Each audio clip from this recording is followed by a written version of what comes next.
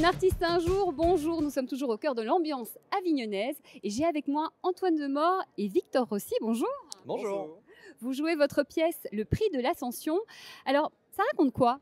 Alors, le prix de l'ascension, c'est une comédie de pouvoir, donc on en trouve un peu la porte du palais pour montrer un peu ce que c'est que les, les coulisses, essayer de, de voir un peu comment se font les stratégies, les carrières et euh, le contrôle de l'image. Voilà, c'est un vrai spectacle documenté. euh, Vous citez des chiffres qui sont, qui sont vrais. Euh, finalement, on se rend compte que plus on monte dans les arcanes du pouvoir, plus ça devient un peu euh, loin de l'humain, c'est ça? Alors, je parle en mon nom, pas forcément celui d'Antoine, mais moi je suis euh, convaincu qu'à un certain niveau de pouvoir, et c'est ce qu'on dit dans la pièce, euh, les convictions s'effacent derrière les compromis. C'est-à-dire qu'au bout d'un moment, ce qui compte, c'est l'arbitrage. Est-ce que ça va rapporter dans un sondage plutôt que ce qu'on pense, ce que ce qu'on pense nous vraiment, et ce qui nous importe nous vraiment? Moi, c'est mon opinion personnelle. Après, je ne force personne à penser comme moi. Voilà, c'est clair au moins. On regarde tout de suite quelques images.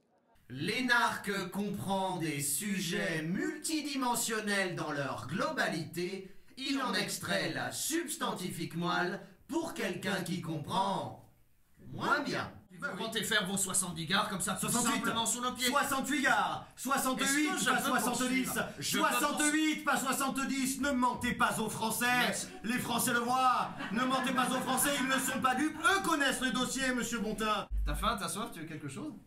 Euh, c'est pas un peu tôt pour manger, là? Oh bah, je cumule les tickets repas de l'agglomération, de la mairie et de député. Je peux manger jusqu'à 9 fois par jour. Qu'est-ce qui vous a donné envie de parler de cette thématique?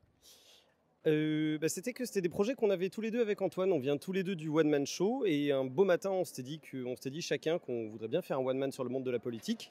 Et au lieu de se dire qu'on allait faire chacun un one man concurrent, on s'est dit qu'on allait se mettre ensemble pour écrire cette pièce.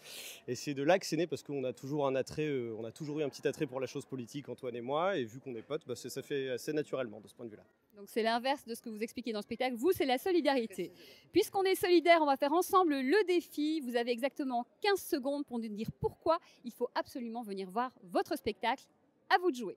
Bah, je crois que c'est assez clair, il faut venir nous voir parce que je pense que d'un point de vue charisme, quand on met le costume, c'est assez important, assez imposant. Et avant tout parce que c'est notre projet. Défi réussi avec des petites références si vous les avez. Super, eh bien il n'y a plus qu'à savoir euh, qui, quoi, quand, où.